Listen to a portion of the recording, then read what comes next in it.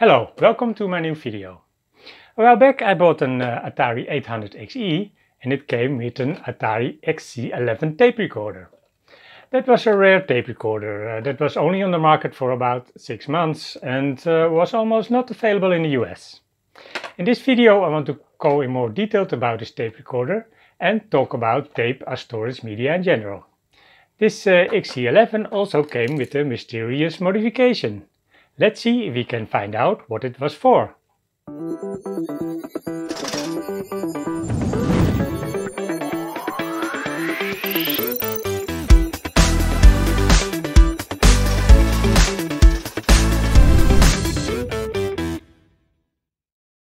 In the 8-bit era of computing, the floppy disk was the best known storage method.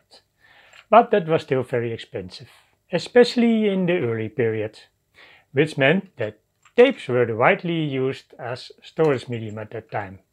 This was especially the case in Europe. I still remember when I had finally saved enough money by uh, delivering newspaper to be able to buy the Atari 800 XL. But I didn't have the money at that time though to also pay for a storage device. At that time I mainly used the computer for programming and I had to leave the power on to not lose my program. But at a certain point I had to switch it off and then you lost everything. But after a few weeks of uh, delivering newspapers I had saved enough money to buy the Atari 1010 tape recorder. For a long time this was my only uh, system for loading and saving data. It wasn't until way later, when this drive also became a bit cheaper, that I bought an Atari 1050 disk drive. Now I understand that many other computer hobbyists of that time had similar experience. The tape drive was therefore been an important system for a long time. Let's see which tape systems Atari has offered over time. With the first generation of Atari 8-bit computers, the 400 and the 800, Atari offered the 410 tape drive. There are two variants of this drive. First was a version with the mechanism from Japan. This drive was derived from an audio recorder that was also sold under the Sears label. About a year later, this model was replaced by a new variant with the mechanism from Chelco from Hong Kong.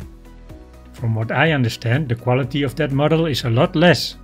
In Europe, the 400 and 800 computers were hardly available, especially here in the Netherlands, so I never have seen uh, this recorder myself. When the era of the XL computers uh, started, a new recorder was released, which better matched the XL look. That was the Atari 1010 tape drive. The drive has two SIO connections and an external power supply.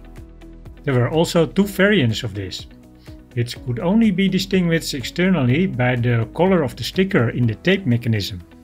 You had the 1010 with the Chelco mechanism from Hong Kong, which had a silver sticker, and there was the 1010 with the mechanism from Sanyo from Japan, with an uh, orange sticker. And in general people think the Sanyo version with the orange sticker is of better quality. When the XE line of Atari 8-bit computers was released, Atari also introduced a new tape drive again. That became the Atari XC11 tape drive. But that was mainly in Europe. It was not, or almost not, available in the US. But in the US almost everyone had switched to disk drives by then. Unlike previous tape drives, the XC11 had a fixed SIO cable for the connection to the computer and an SIO port to pass the SIO signal to the next device. The drive gets its power from the computer via the SIO cable. But six months later, the XC11 was replaced by the XC12. Probably for cost reasons, this model was clearly of inferior quality. The model was based on a PhoneMark tape drive, from which the Commodore tape drive also was derived. This model also had a fixed SIO cable, but no SIO port to pass through the SIO signal. The XC12 therefore always had to be placed at the end of the SIO daisy chain system. And which tape drives I own myself. This is the Atari 1010 tape drive from my youth. We see the orange sticker, so luckily I had the better model. It has now clearly yellowed. Uh, we have to do something about this soon. Later I got an 130XE and it came with this XC12 tape drive, clearly of lower quality. This drive has only a one cable uh, for data and power and no second SIO port. This drive even included the original box. But yes, I think uh, the boxes of the XE and ST line are the least attractive. This drive is uh, also clearly yellowed. And then we have my XC11 tape drive, which I recently got with my uh, 800XE. Even by the cable you can see it is of better quality. And this one has the SIO port to uh, pass through the signal. But my drive uh, also has this uh, strange modification. No idea what it does.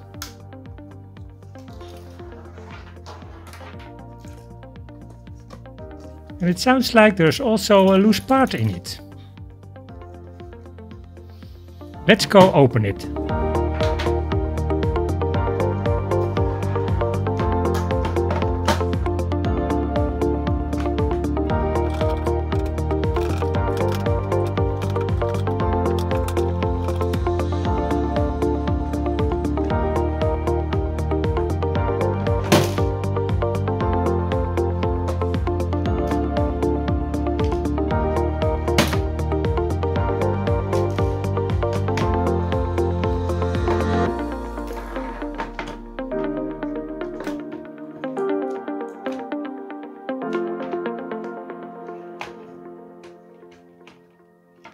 And this is what the drive looks like from the inside.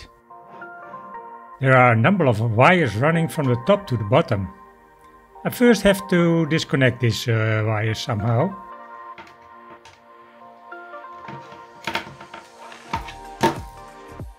Ah, that's what I thought. The loose part is a spring. From this connector two cables should go to the top. But it looks like there's only one going now.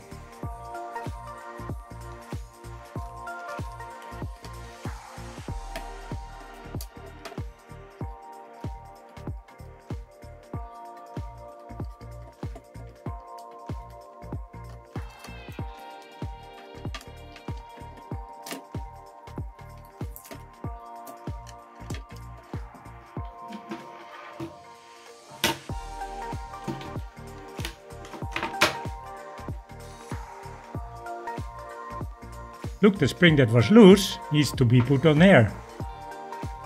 But that happens uh, almost to all uh, XC11 drives.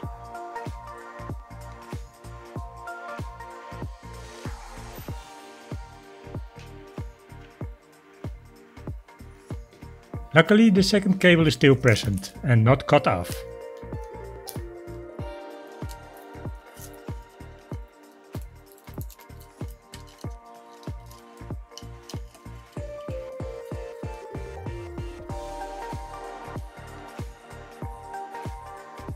So I will have to connect this again uh, somewhere to the drive.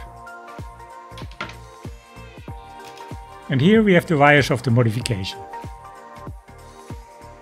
See where they go to.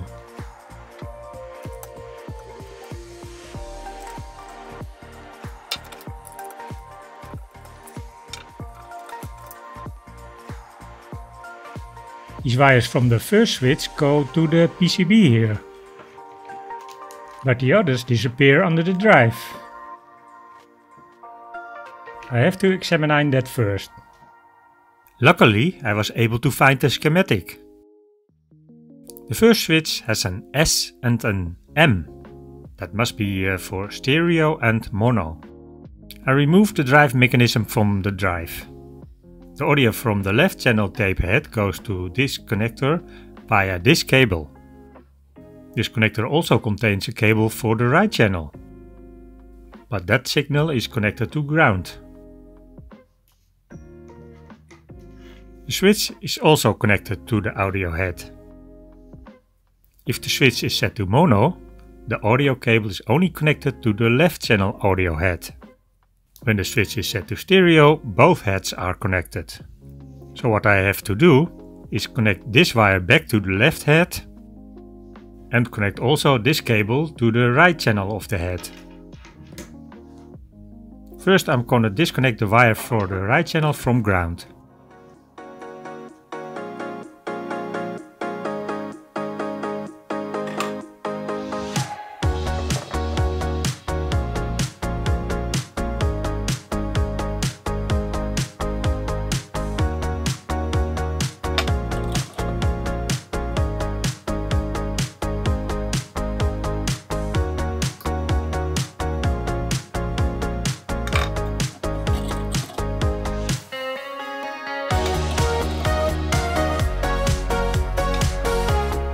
Now disconnect the switch from the head.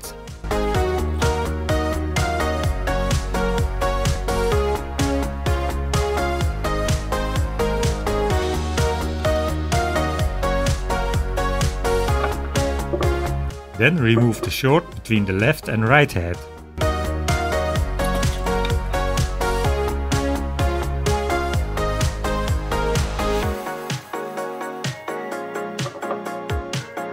And remove some excess solder.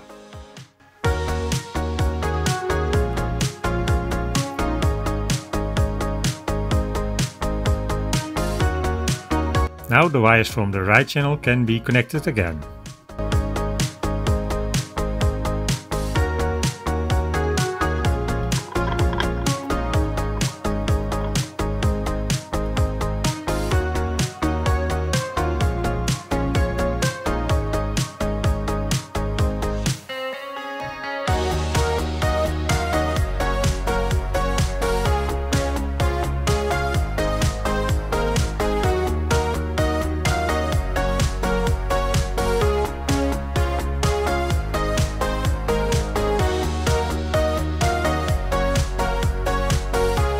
And then the second wire of the left channel can also be connected.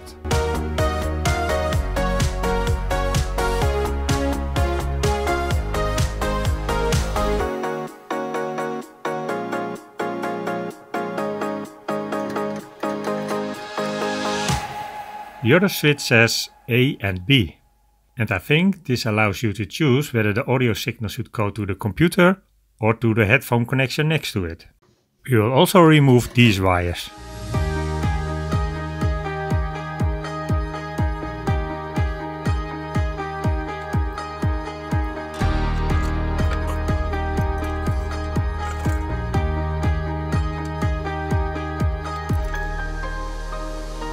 So, they are out. Now put the resistor back in place. But first remove some excess solder.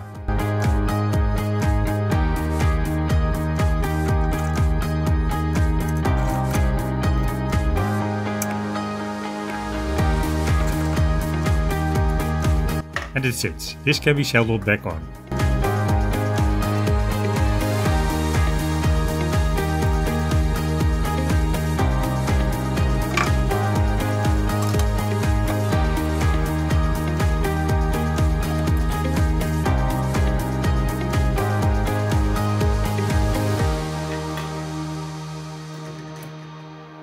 I saw that the trays had also been sketched out, so I connected them again. Now the drive can be reassembled.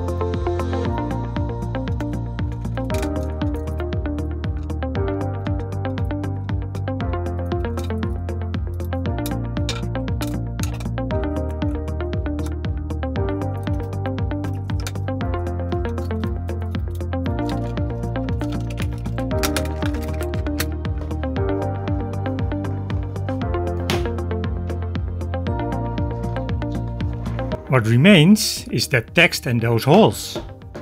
Let me see if I can wipe out that text.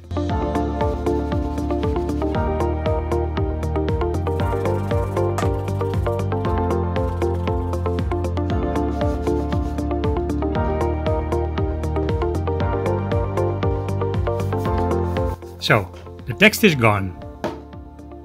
For now I cover the holes with a piece of tape.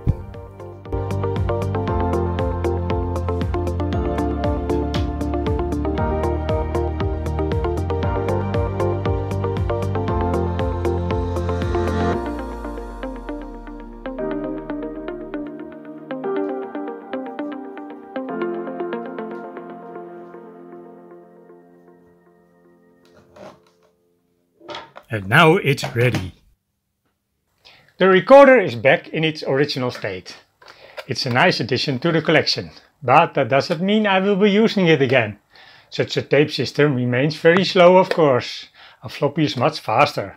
And nowadays you have even faster solutions like an uh, SD card drive or an SIO2 PC. But this brings us to the end of this video. Thank you for watching. And if you also click the like and subscribe buttons, you make me even more happy. Until the next video, bye!